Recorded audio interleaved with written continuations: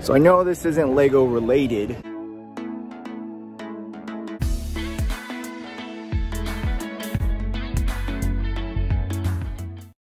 But Kobe was a big deal to me. All those championships coming into and out of high school, all the way to his retirement. Kobe was a player of our generation, like, like mine. And No way, no way, no way, please.